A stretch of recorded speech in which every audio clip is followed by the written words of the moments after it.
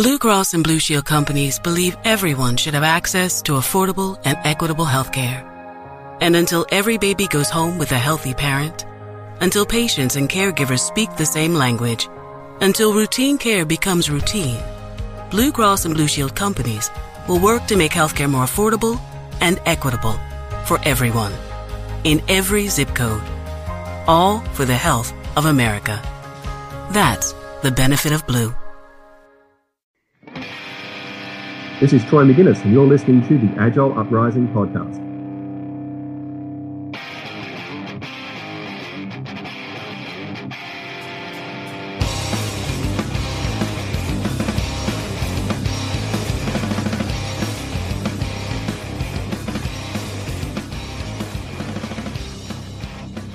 Greetings and welcome to another edition of the Agile Uprising podcast. I'm your host, Jay Hrcsko. So, this week's episode, we are going to be talking about a book that recently came out that actually is one of the better books I've picked up in a while, which all of you know that I read a lot. It's saying something. Uh, we are talking about the professional agile leader. And joining us this week to talk about the book is one of the co-authors, Kurt Bittner. Kurt, thanks for joining. Yeah, thanks, Jay. Glad to be here we are we are excited to have you. So, Kurt, for before we dive into the book, for people who may not be familiar with you or your work, could you give us a, a quick intro as to who are you and how you either fortunately or unfortunately ended up talking to me to this evening?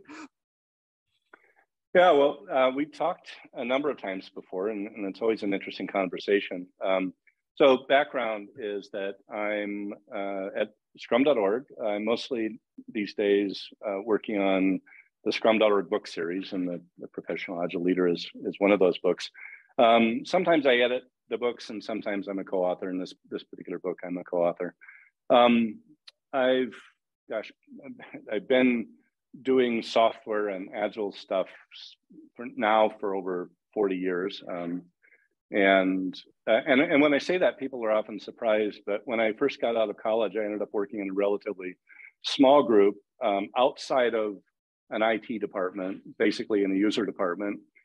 I didn't know what I was doing. Um, I knew how to write code though, and it seemed to me to really make a lot of sense to develop stuff and and deliver it, you know, every couple of weeks. And we did that, and then gradually, you know, we were successful with that, and then I was able to hire people, and we ended up with a, a relatively small team. I think you know seven or eight people. Um, but that's just the way we worked and we didn't know enough to know that that was not a good way to work. Right, and right. so all these so all these years later um, you know here i am still doing that kind of stuff and talking about it. And you know it always surprises me that people think that that you know that somehow in a sense what we used to call the waterfall approach is a good idea because it's i just didn't have the patience for it. So anyway i ended up doing this. And uh, along the way, I've worked for software companies, done consulting, done agile transformation work, worked as an industry analyst, um, writing things, and and so um, anyway, I, I, think now what I like doing about the writing part is that trying trying to shed some different light on this subject. I mean, this is one where mm. since you read a lot of books, you you know that there are tons of books out on this subject. Um, and usually the motivation for me to write a book is that I haven't read the book that I want to read. Right. I, I, haven't read that, and so it's like, well, I'm going to have to write it because um, you know no no one else is going to. So anyway, it's um, uh, it, it's it's rewarding uh, and and interesting, and hope and I'm glad to hear that you got a lot out of the book, and hope that other readers um, feel the same way. I, I really did. So the, for our listeners who haven't seen the book, the the subheading is a the leader's journey toward growing mature agile teams and organizations. And one of the things you just said, Kurt, really resonated with me because you do you and your co-authors say at certain times of the book, you know, this is just a one example of many. This may work for you, that may not, but based upon our experiences, these are the common themes and threads that we've come across that resonate. And that was that was for me the selling point because the, the there was a there was a great interview uh, he was by a project manager of all people, uh, interviewed by Jim O'Shaughnessy, and he made the remark about everybody tries to recreate somebody else's success by copying that as like a template, as a rubric. And if you're copying the rubric, you're going to get diminishing returns because the system, the scenario is never exactly the same as when the rubric was created. And that is a really, really insightful way to look at these transformations where, yes, they're, they're stochastic in the sense that they're all the same, but they're not when you get down to brass tacks. And that I think is where some people get a little bit wrapped around the axle. So I, I, wanted to dive in because there's some there's some really wild quotes in this book that I've I've highlights and, and flags all over the place. And on page 10, you had me sealed, Kurt. On page 10, you had me sealed because there's a quote um in, in the in the opening of the book, and, and I'm going to read it verbatim because this was really, really resonant to me. And the quote is The irony of agile organizational transformation is that while eventually the people in the organization will need to learn to become more self managing and collaborative when they make decisions, the early stages of the change require the agile leader to be somewhat dictatorial. So I read this and my brain was like, finally, somebody agrees with me. And that's, it's almost antithetical to, to the whole culture of safety, psychological safety, you know, take it to the team sort of thinking. Right. But right. that resonates with me. And, and can you can you give us a little background and explain to our audience how I'm not crazy, how this actually does make sense at the start to put a little bit tougher bounding box around your expectations? Yeah. Um, so, you know, th- this this is one of those um, sort of hard won, um, you know, having to sort of spit the teeth out of the back of your mouth kind of observations that um, that we, we we came up with. But the the reality is is that when you're trying to change a traditional organization, you're working with a system that is hardwired to destroy you. Um, it doesn't want to change, and and it's largely controlled and led by a bunch of people who have no incentive to change they they get their bonuses based on individual contributions. They you know they're they're wired into the MBO system. They you know they're they're largely in, in a status reinforcing network in which the, the most important thing is for them not to look bad. And you're trying to introduce a system in which you you want to introduce experimentation, and in a sense, um, you know, to to sort of tie into um, you know some of the the learning organization kind of ideas. You you want to create an organization that can learn. And right, in right. order to do that you have you have to be willing to make mistakes. Um, and it's not that's even that's that language isn't even the right language. You have to be willing to try things that are going to turn out differently than you expect them to. Right. and that's a good thing. Um, you know somebody said one time the most important phrase in science is not eureka i found it. It's huh, that's interesting. that's not what I expected. Um, and it's the same. And it's the same thing for agile organizations. So what what that dictatorial leader, in a sense, has to do is they have to create the space in which other in which the organization can start to learn how to work in a different way. And because of these forces that are aligned against that kind of way of working, they have to be, you know, in a sense, powerful enough and protective enough to hold the rest of the organization off while some small part of it starts to learn and then gradually keep protecting that until you've got a critical mass. And then you know one of you know later on we can talk about this dual operating model and and sort of the the you know temporarily you have to you have to recognize the dual operating model is is reality but eventually you have to make the choice of which way you're going to go because it's it's a little like I, I, said one time to somebody, you know, it's a little bit a little bit like Voldemort and Harry Potter. Neither one can live while the other one lives. Mm-hmm, mm-hmm. Very, very and, true. so anyway, we'll, we'll we'll get to that later. But but that's sort of the idea, and and you know this idea that somehow I mean we've seen it just total disasters happen where in a sense somebody says okay teams you know you're all self-managing now and everybody looks around and go is this a trick um, you know, can we really believe them? And and and then they start acting in a self-managing way, and then the and then at some point, somebody gets threatened by that, and the whole organization comes down on their heads, and then they never try again. Um, right, right. They get they get their wrist slapped, or you get told this isn't going to work, or um, uh, what is it? The is it a, a Peter Senge? Is it his quote where when you push against the system, yeah, the system pushes back? Um, right it's all those things that we experience. Simon Wardley had a quote where if you're in if you're new to an organization, your best odds of success are making massive change within the first 90 days. And his remark was after 90 days, those organizational antibodies, which are to your point, used to working in a way, getting incentivized in a certain way, they start pushing back because they're based, they're the equivalent of detecting a foreign body inside a biological right. system. Your immune system rises up to, to stomp on it. Um, so you talked about the dual operating model, which I think we talk about again later. Uh, uh, one of the things I want to ask about though is you're talking about leaders need to be dictatorial to create the space to make the change and they need to carve out that chunk of the org that is going to be okay to experiment and to quote uh, Dan Mezick, be prepared to be surprised. You have another, there's another section early in the book where you're talking about how to change an org one team at a time. And you have, uh, again, these are money quotes, which I wish everybody would pay more attention to. While organizations are often tempted to aim for broad adoption of agile techniques, they are rarely rewarded with success. Shot one. Uh, what begins with a well intentioned sharing tends to end in unfocused, watered down, superficial agility that does not build a foundation for success. And I would challenge any of our listeners to think about how many transformations you've been part of where this is the end result that it ends. It's a very much schizophrenic, very poorly, poorly orchestrated attempt.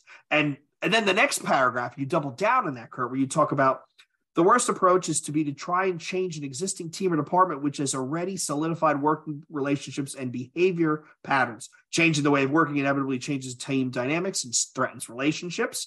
While breaking up existing teams may seem costly and unproductive, trying to change the way an existing team works is nearly impossible. I read that and I had my eureka scream on the plane. I was like, well, thank you. Somebody put it in words because we're humans and that's what we do. And trying to change somebody who's already into a rhythm it's it's oh, near impossible near impossible right yeah you, see existing teams you know they, they've got existing power dynamics in the team. They've got you know some people who are more dominant some people are less dominant and those relationships are already established. And then you try when you try to introduce a new system it upsets those relationships. And and so whether people understand it that it's happening and are doing it consciously or whether it's simply unconscious and people are just feeling uncomfortable um, you know the, the, the, best thing that you can do is and, and we, we talk about this in the book is that um, you start basically with a bunch of new team members and you let them self-select who's going to be in, uh, on the team. And that's a it's a complex process. It's not something you can do okay wednesday afternoon we're all going to you know form form the team. Because you know you've got to get to know each other kind of interview each other and and gradually coalesce around who the new team members are going to be but if you can't trust and we say this in the book if you can't trust a team to make a decision about that how can you trust them to do anything else? And right so right. you know that's that's really the starting point about building confidence on the team is to say you really are responsible for who who you work with. And some of the biggest disasters that i've seen is where some manager assigns people to work on an agile team and some of those people don't want to be there you know we've had people who are assigned to be a product owner and they used to be a business analyst and they like being a business analyst. And they like writing their humongous requirements document and they thought that was a good way to work. And now you're telling them don't do that and that that's a wrong way to work. And they're reacting going wait a minute you know i thought i was mm-hmm. a professional and I, I thought that i was you know really doing my job well. And now the first thing you do is tell me that i'm shitty at doing my job how is that person ever going to be successful? Right so, right. And and your remark about someone thinking well now you, you tell me i'm doing terrible at my job. M- humans most humans they equate change with failure or they equate change with loss. I'm losing my in this example it's my, my corporate respect the respect that the role i was doing because you're telling me you need me to go from role a to role b. And if it's not clear to me I'm I'm interpreting that as I either wasn't doing a great job or that I've lost my stature, my standing in my peer group. And and that's okay. That's a that's biologically how we're wired. But as good leaders, we need to be cognizant of that. Yeah. And and you have to support people through that change and and and be and be aware and even even say things like, you know, um, Kurt, this is this is going to be hard for you, but I know that you know I've I've, I've observed you on, on other projects and I've seen you working really well in this new way and and and we think you can do it. But if you don't want to do it, that's okay. You know, totally up to you. And so I think giving people that flexibility of deciding to join, you know, it's just like the all volunteer army. You know, it's, you know, you you decide to sign up. You mm-hmm. don't get drafted. You don't get assigned, and that's really the first step of showing people that you trust them uh, to make the right decisions. And that's hard. It's hard. It's hard for a manager to let go of that and trust. But I've I've seen situations in which that was the way it, it worked, and and worked in organizations where that's the way it worked. And sometimes to add a new team member, it took six months to get you know everybody through the whole process. And but the candidate wanted to join, and and everybody you know, and it took every a while to get everybody on board with it. But you know, once you brought that new person on board, everybody on the team was behind that person in terms of helping them to be successful. And and, and the other thing that we, we talk about somewhere is that every time you change composition on a team, you've got to go through that whole forming, norming, mm-hmm. storming, you know, forming, storming, norming, performing kind of cycle. And and you recognize and that's something that I think a lot of managers don't really understand either is that they think people are interchangeable cogs and you can just mix and match them. And boy, that's a that's a really dangerous yep. Uh, philosophy. Yep. Uh, uh, Craig Larman calls it the meat widget, right? When you refer to a person as a resource, you're calling them a meat widget. And we've talked a lot about in the show about how people are not fungible. They're not fungible. They're, each person is uniquely different. And you change them, like you said, when you add someone, when you take someone away, when someone goes through a life altering event on a team, which is another thing we don't really talk about, that team dynamic can change. It's a mm-hmm. living, breathing. I think that what is it? The third chair. I think they use an ORSC training where there's me and then there's you and then there's the relationship that we have, and that that third entity, third entity they call it, is always changing.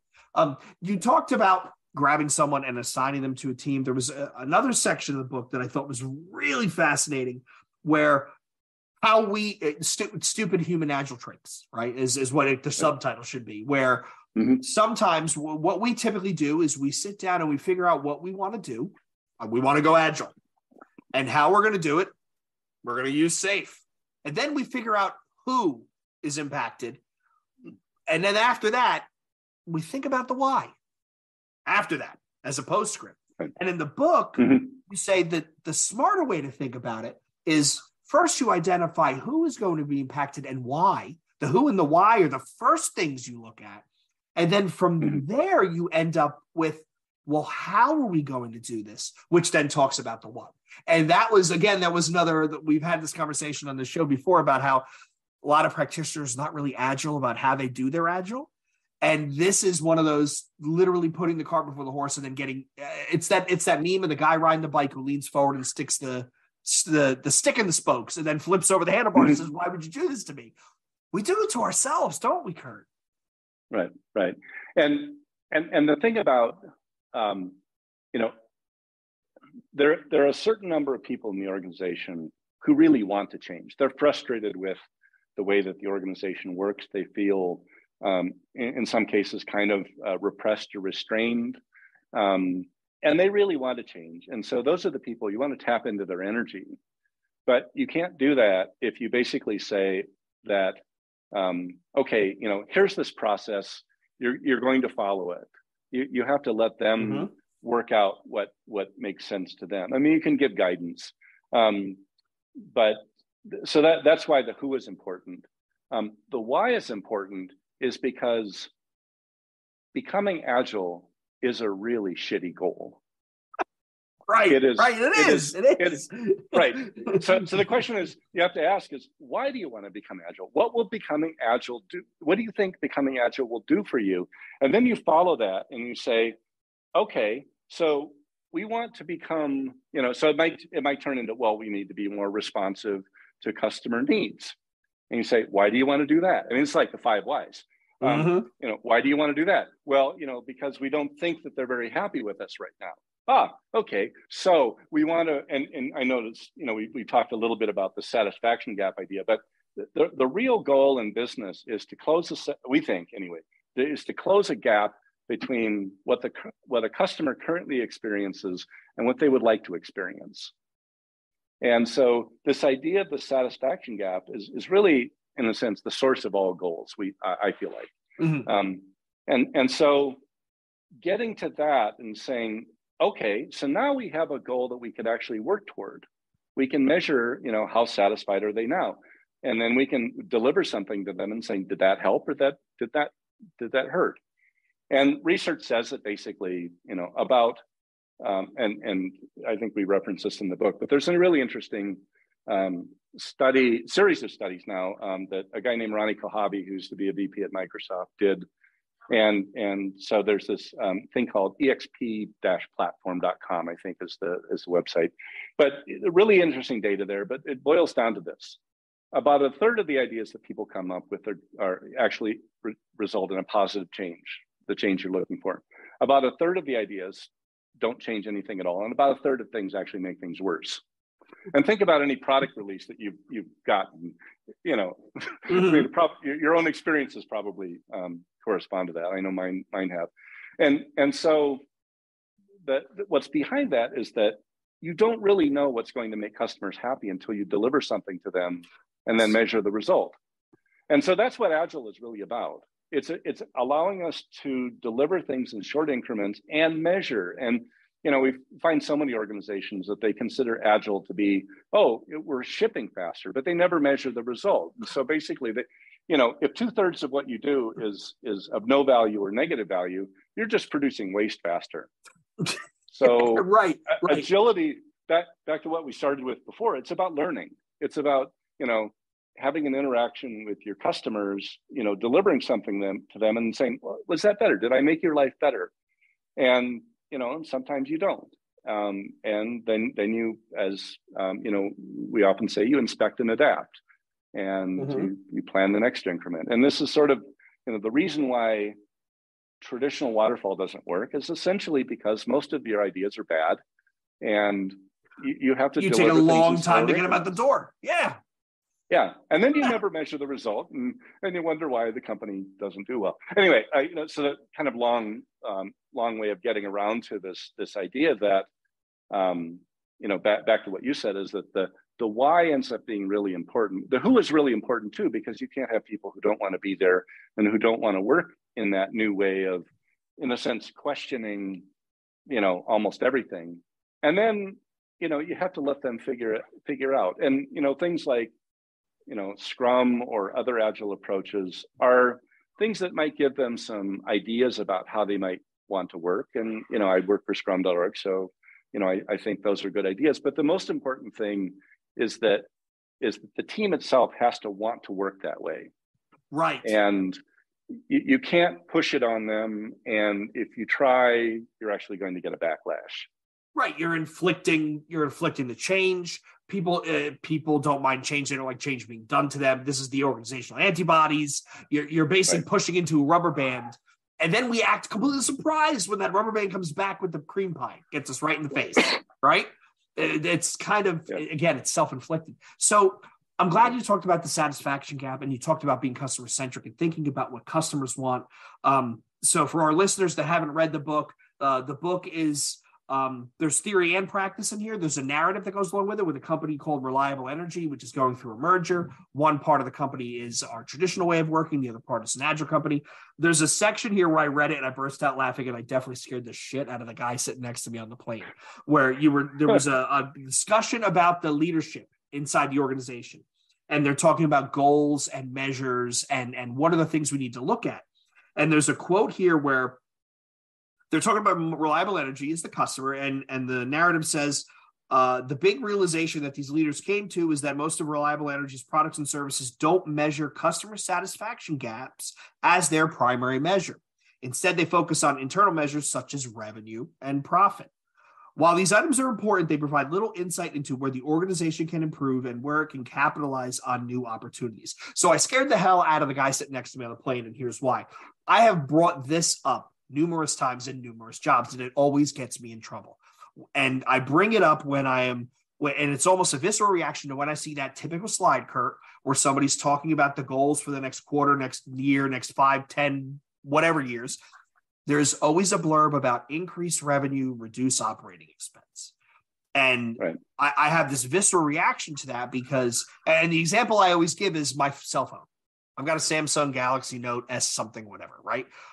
I don't really hmm. care about Samsung's profitability. I don't care about their OPEX. The reason I always buy a Samsung whenever my phone is up is I enjoy it. I have a good experience. So right. you need to think about what are your customers' experience? What's their interaction with your product?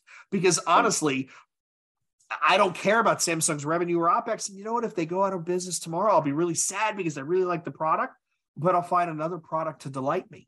And we, yeah, yeah. I, every time I bring this up, I get in trouble because somebody is like, What do you mean we don't care about revenue or OPEX? I'm like, We do, but that's a bad proxy for business success. Right. Yeah. There, there are so many, and, and we could come up with lots of examples about, you know, why focusing on revenue and cost is, is actually a bad motivation. Um, it's the thing that basically results in stuff like Enron, uh, if you remember that, right. yep. where where where basically you know you've got people gaming the system um, because it's easy. It's actually easy in the short run to boost revenue. Mm-hmm. Um, might kill you in the long run. The same thing with with um, with cost is that you know you could instantaneously make yourself infinitely profitable by firing everybody in the company and we're running you know uh, out in the world right now there's an experiment there's a couple of companies trying that experiment but you're you're right when you reduce if you're if you're trying to maniacally reduce opex there comes a point where you start to negatively impact the customer experience so, what good is it saving all this operational expense if I'm negatively impact the customers? That's going to get Peter Merel talks about it all the time with Xscale. You get into this really terrible loop where you're right. literally almost like circling the drain. Yeah, and and so you have to look at with cost. You have to look at why are you doing that, and it gets back to customer satisfaction. Um, and almost everything can be related to that. You could say, you know, should we reduce the number of, of call centers? I don't know. How would that reduce customer sat? Um, and the answer really mm-hmm. is that we don't know, but let's run an experiment. Um, let's right. see what happens when when we do that.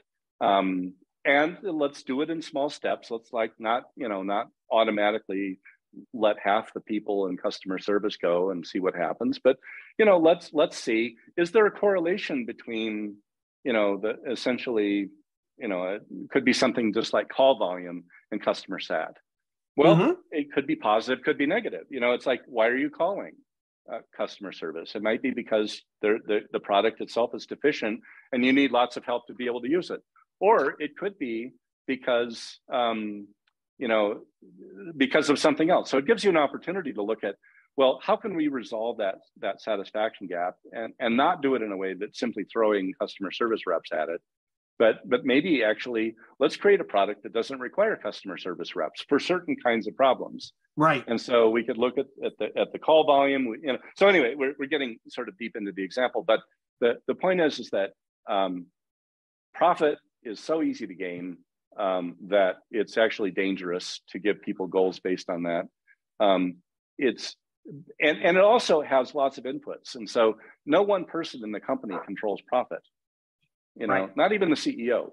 So you can't really go to somebody and say, okay, you know, you do this because there's complex interactions between profit and cost and everything else. Right. And so very uh, complex. you know, we, yeah. we, we, we just feel like th- those profit-based goals, and, and we said it in the quote, you know, while, while not unimportant, the real goals have to come from somewhere else. And so that's that's really what we're trying to say there. And and the funny thing about this book, you know, it, it's titled "The Professional Agile Leader," but there there were many times in writing the book that I felt like this isn't just about leadership. This is about changing an organization. Absolutely. And, and you have to affect goals. You have to affect the culture. You have to affect the team structure.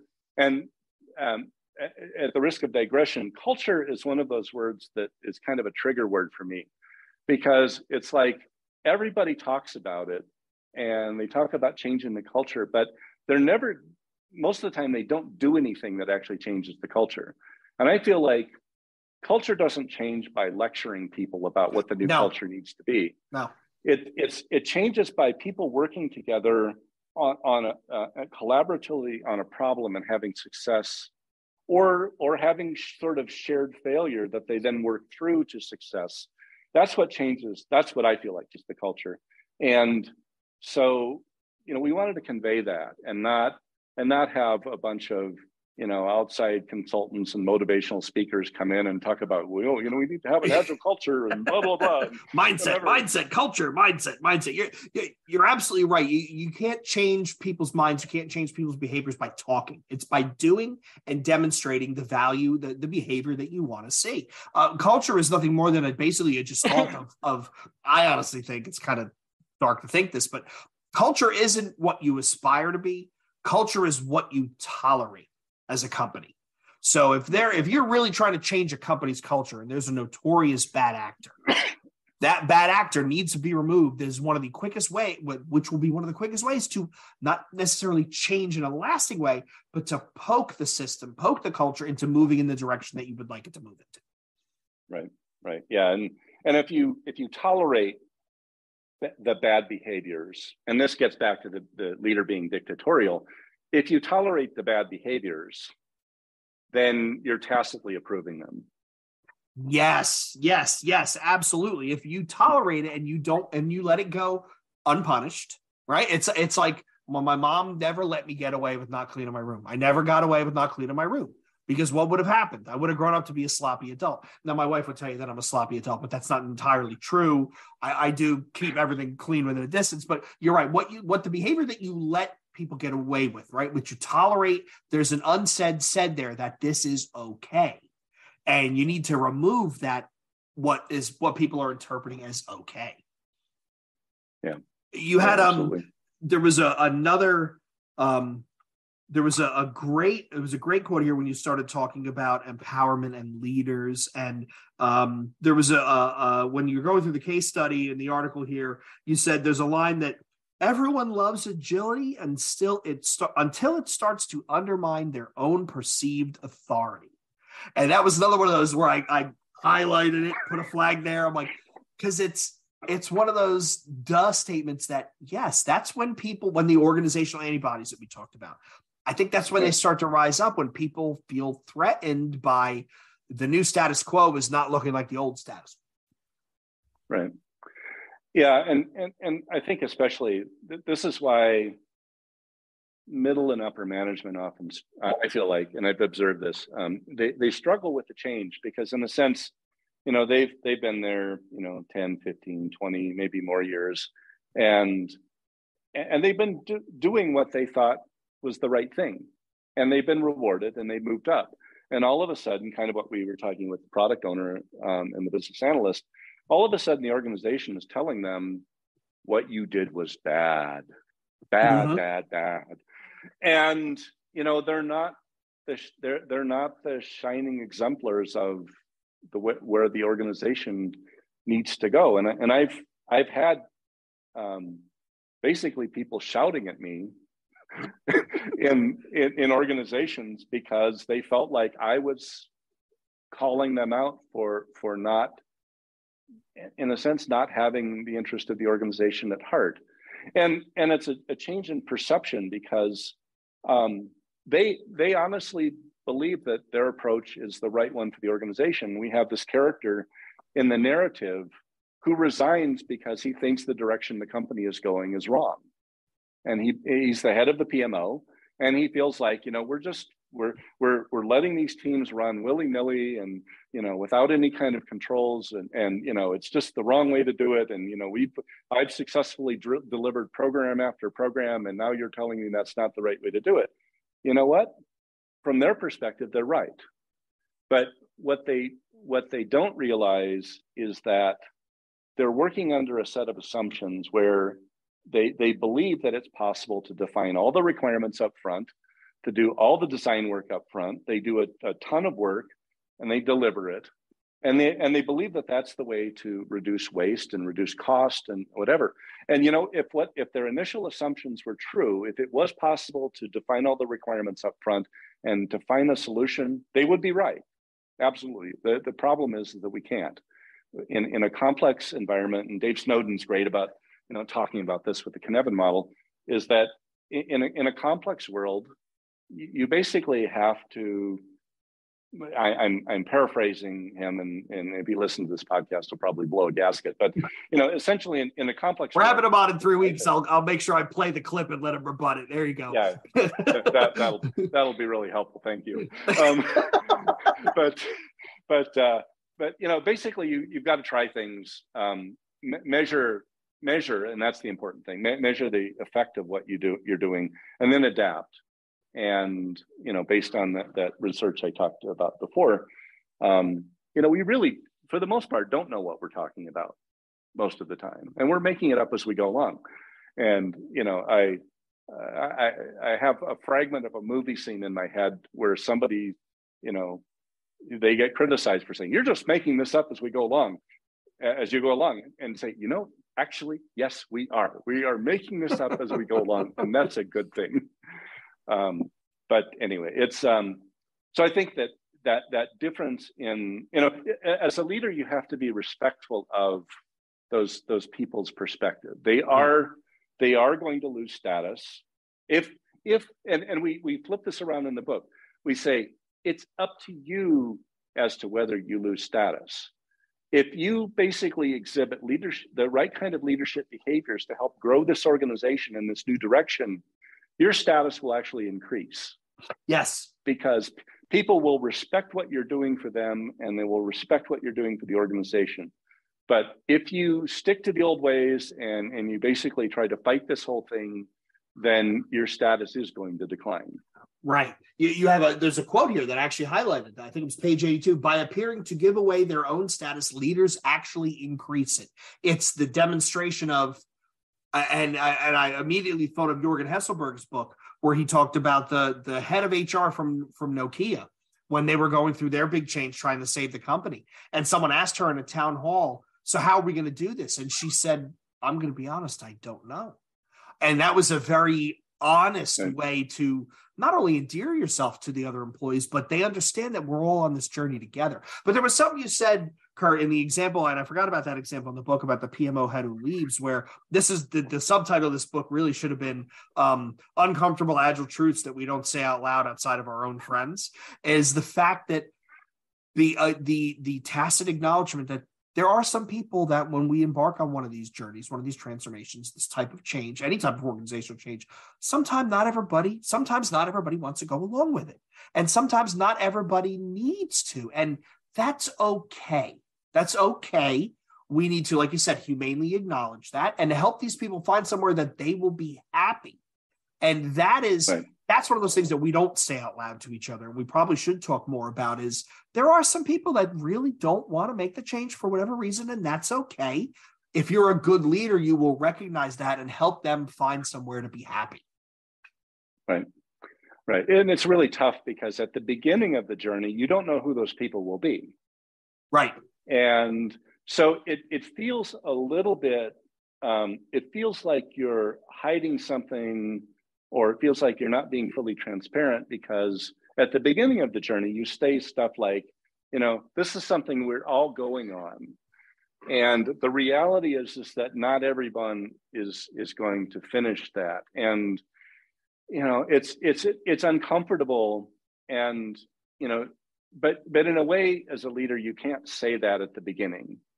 Um, right. So so you have to, in in effect, act in good faith um, because really it's up to the individuals to decide do they want to be part of the journey or not there's there is more than enough work this is not um, uh-huh. as, as, anybody who's been through it uh, you know becoming agile is not a staff reduction strategy it's because when you start improving customer outcomes and you get the better results there ends up being more work to do you know right. i mean right. unless you're unless you're in a world where where you can make your customers you know instantaneous or you know very quickly super happy but what happens is that like all of us you know the more we get the more we want um, so it's but you know you get rewards from that because you know the, the thing is is if you're improving that satisfaction gap you know like like your example with the, your, your phone. You I mean those phones are not cheap. I i happen uh-uh. to like the apple devices but they're not cheap either. And and, and, but you know you're willing to give up a substantial amount of money for the things it does for you and you're happy about that. Right. And so you know it's um, you know but if somebody had told me 20 years ago that i would be paying a thousand dollars or more than a thousand dollars for a phone even if i translate that back to you know to to you know what money so, was worth then I, I, would have said no. You're you're joking. Yeah, exactly. you're thinking about my original Sprint flip phone. Like, ah, no, now. Well, I, am one of those people. Uh, you know, I, I certainly can't see the future. And, and the first time, probably in about maybe 2001 or so, I was in Sweden, and I, I saw a Sony Ericsson phone with a camera in it, and it's like a one megapixel maybe, and and the and I thought this is the stupidest thing I've ever seen. Who would ever want a camera and a phone? Well, I mean, yeah, there are some people that I mean, who would have thought that you have a PDA, a phone, uh, internet browser, a camera, a, G, a, a, a, what amounts to a Garmin, all this stuff, all this stuff built onto your phone. Um, so you talked about you talked about early on. I want to come back to this. You talked about the idea of a dual operating model inside of a company, and when we yeah. in the example in the book with reliable energy, where they're a traditional company that acquires an agile way of working company, and they're trying to kind of melt these things and make the change because the agile way of working is obviously the better way of working and and in this in this especially in this instance and you have a you have a section a chunk in the book where you talk about the, the leader's role is to like you said create the space and protect that agile modality or, or the the iterative modality while the old world is there. And the quote here that I that I highlighted was to be successful, the agile leader must demonstrate that the new approach will work while protecting it from the old system that and all, although it may be failing in many respects, is still strong enough to protect itself when threatened with obsolescence. Yep. And that that comes back to the organizational antibodies. That comes back to the Senge system pushing back. Right. As a good agile yep. leader, you need to build that frame, that scaffolding, so when people push against it, they can't try to kill it in the womb because we talked about lack of status. So that that's what'll happen. Yeah. And and another thing that usually is happening at the same time is that that traditional organization represents probably 90 plus percent of the revenue and the profits for the company at the beginning. So you don't want to up, upset that apple cart either. Mm-hmm. And you know, but you know, there there were some famous attempts at um, like uh, at, at people trying to change big organizations like Jeff Immelt to GE. You know, they went on a big push to sort of software is going to be in everything. We need to make everybody agile, and and, and there were some. Um, what I, I don't have enough insight into what hap- happens inside the company, but you know, at the time they did that, they were going through a transition um, of business models in a lot of their main lines of business, and some were declining. But the main money makers were still the traditional businesses, and you know, as a result, there was a lot of internal pushback on that, and ultimately, even the CEO lost out in that. Um, now, there may have been complex other reasons that that I don't know, but but it but that kind of pattern shows up a lot. Is that the the traditional organization is is good at doing certain things. Um, it's just not it's just not good enough for where you think you need to go. Right. And so a, as a result, the, the agile leader feels like we need to make this this change before basically we completely collapse. And so they're they're betting that you know we need to have this greater responsiveness, this greater connection to customers and we have to work in a different way. But you know, we and we specifically picked um, this this energy example because there's a huge transformation going on in energy right now, where you've got traditional generating companies that you know have been regulated for many years, and yet you've got all this new stuff like solar panels and wind and electric vehicles and new new loads and and new threats from you know people hacking into, mm-hmm. into smart meters the, and stuff. Uh, yep you know smart meters and things like that. So so there's a big transformation going on. And yet you know you, in the short run you can't just say okay customers stop. You know we're, we're going to put everything on pause for a couple of years while we uh while we figure out this this new way of working. But it's it's going to be really great trust us. Right. It does um, that doesn't so, that's not work doesn't bode well for success going forward. No. No no but um, but the thing we, we mentioned later on in the book is that there will become a critical mass when you have to make a choice.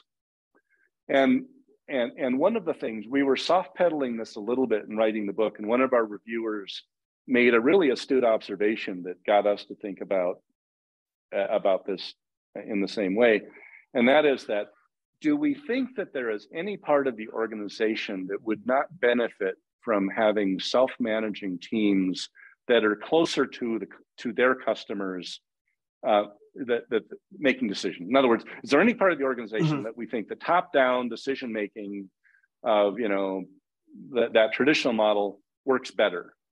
And you know, we thought about it and said, no, there probably isn't any part of it. And sometimes people bring up things like, well, what about the accounting department? But I actually work. I've worked in an accounting department, um, and not not doing accounting. I was doing um, supporting systems and things like that.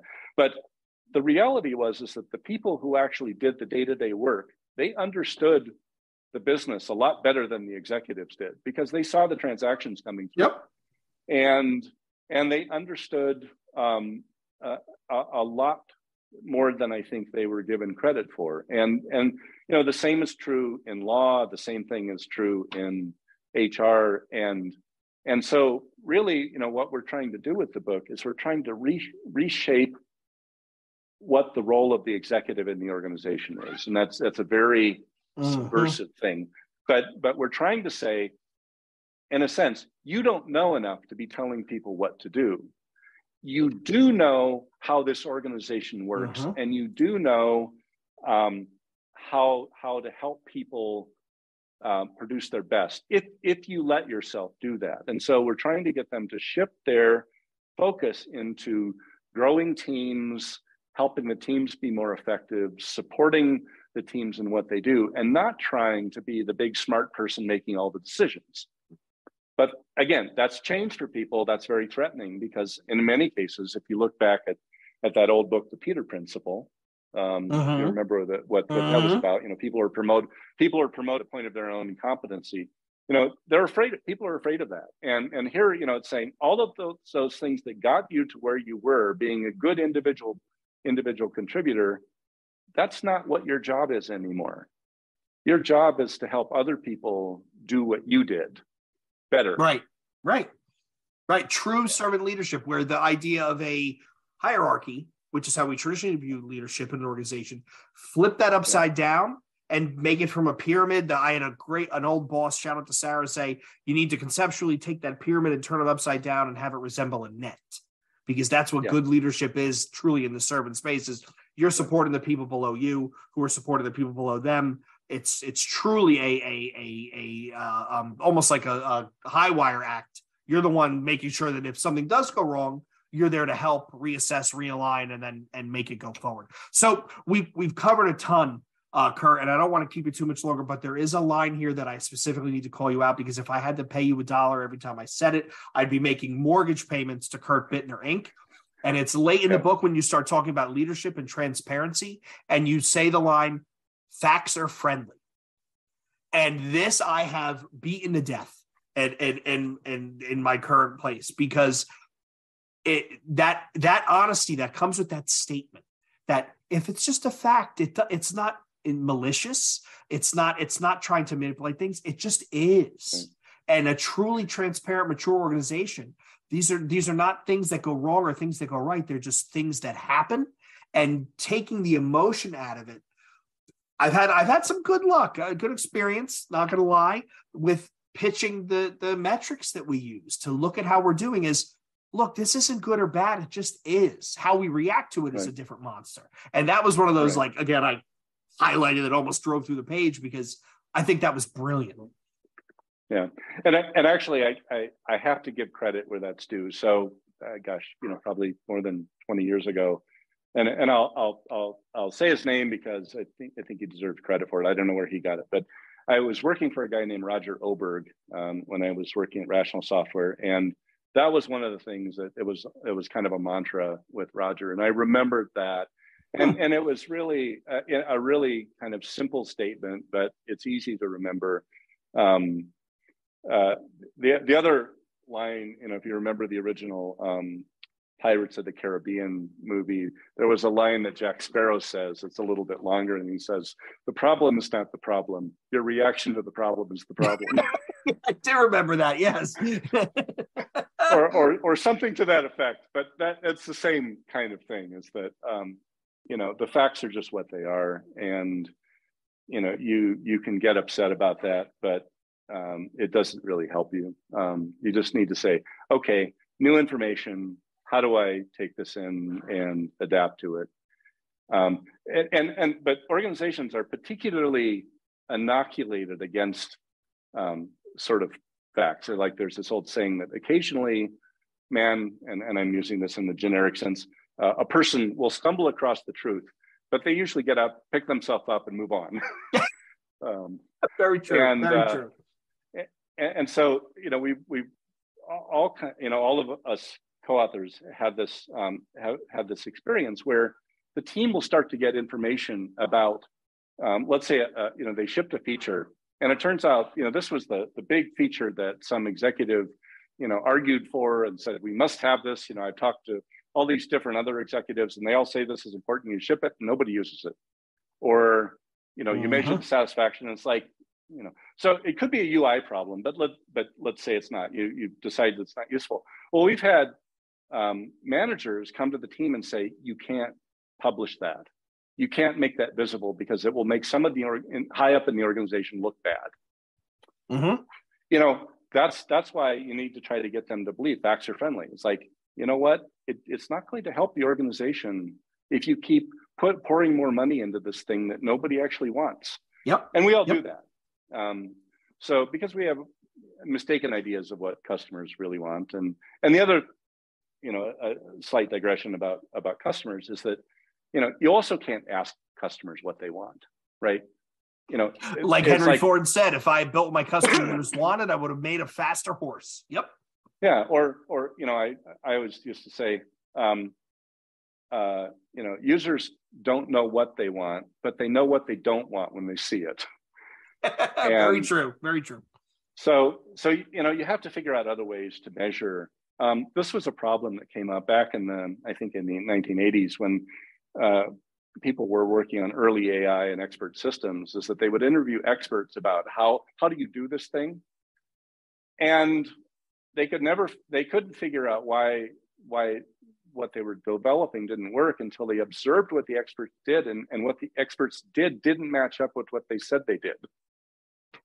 So you you have to figure out other ways of measuring that customer satisfaction gap because surveys are really bad. Um, you they people tell you what they think you want to hear or they tell you what they think they did but they don't really self-reflect very well and so on so it's it's it's really complicated and and that's what makes all of this hard because you know if it was easy we could just do customer satisfaction surveys come up with a list of requirements yep. deliver it and and we'd be good. And that's what we've done for years. And you know that old joke or that old saying about what's the definition of insanity?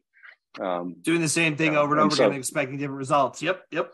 Right, and and so that's kind of the, in a sense, the, the essence of the waterfall approach is that you know you, you you're making decisions based on limited information, and a lot of assumptions, and and you never measure the results, and and somehow the organization fails to perform the way that you would like it to, and so you know we have to do it a different way, and um, but uh, yeah, no, it's I, am glad that that you know those those things that we put in there um, stand out. And and the other thing that one of the things that I'm I'm proud of the book is that it's pretty short. Like you could read it on a you read it on a flight. Yeah, there is a lot jammed into not a lot of pages. Not a lot of pages at all.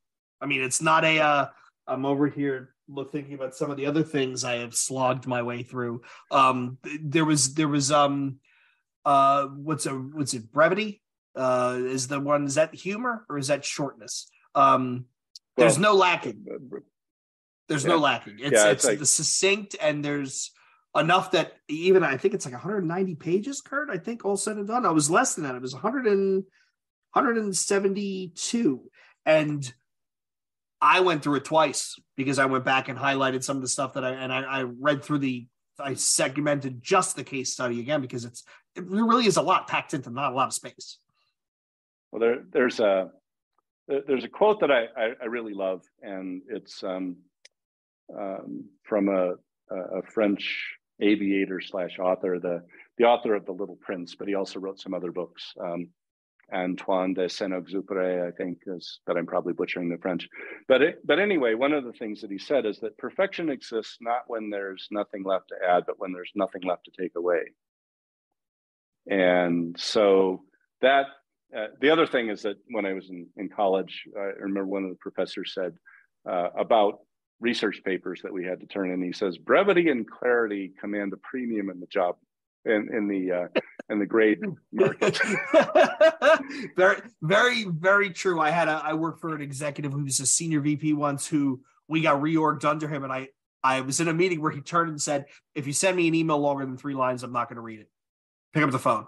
And that was kind of like, you know, in the corporate world, it was kind of jarring. What do you mean pick up the phone? And he said flat out, I'm not going to read it. I don't have time for this. Uh, Mark Twain, I wish I had more time to write you a shorter letter right? It's it, right. it takes hard work. So uh, we're we're quickly quickly coming up on out of time. Uh, for those listeners, we barely even scratched the surface on all the stuff that's in here. I had another half page of of just call outs that we could go through. Um, this was the first conversation about this book. We are going to get Ron and Laurens uh, on the show as well to do their own episodes. However, with time zone differences of being in Europe, it's scheduling is a little bit more daunting, but we are going to get there. So this is the first in the series. Uh, but Kurt, um, before I wrap us up, if people want to get more interested, they want to find the book, they want to reach out to you, they maybe want to follow you on on a social media site, maybe get some insights. Where do they go? Where do they look? Uh, so a couple things. Um, so I'm on LinkedIn. Um, I don't I don't do the the T site. I gave that up actually a couple of years ago. Um, so uh, and uh, gave up gave up the uh, what's now become Meta. I don't know what that is. I don't think Mark Zuckerberg does uh, either, but that's a conversation for another episode. probably not, but but but LinkedIn's a good place. And usually when I when I write a blog or, or an article or something, um, I I sort of post a link there. Um, you could go to, to scrum.org and find my blog page, but probably the easiest thing to do is find um, LinkedIn. Um, but you know, the, actually, the scrum.org blog blog uh, page will uh, give you the articles that I've written in the past that sort of relate to this topic. Um, as we were talking, I mean, I, I, really feel like the book has encapsulated a, a lot of the thinking that we've had over um, over a, a, really long period of time, and so you know, I encourage people to pick that up. It's it's a pretty, you know, we we wanted it to be a quick, easy read. Um, doesn't try to do everything under the sun, um, as we uh-huh. talked to begin with, um, but but we try to share the common problems that we've seen in almost every single agile transformation um, and and some you know and try to call out some of the the more difficult challenges as you've said you know some of the things that are the things that nobody tells you. Um, some of the things are the things that nobody that people would like to say but but they don't feel like they can call that out. Right. Um, but in a fic- in a fictional setting, we can do that more easily. right. Um, say the say the quiet part out loud. Yep.